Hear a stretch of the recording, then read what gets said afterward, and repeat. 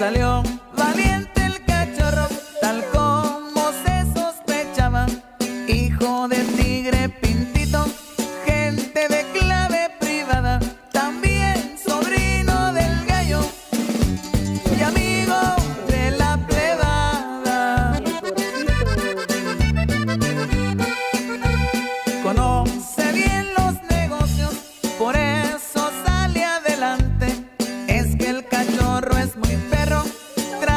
con gente importante, se la navega en peligro, pero es el riesgo de grandes. Señores, soy el cachorro.